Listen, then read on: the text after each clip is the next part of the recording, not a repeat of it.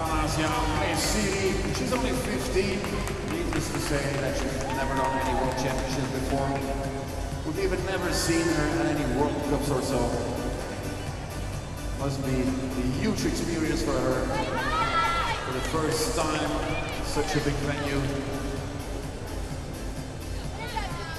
We're happy she's here.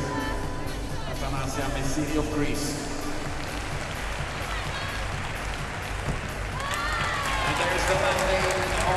And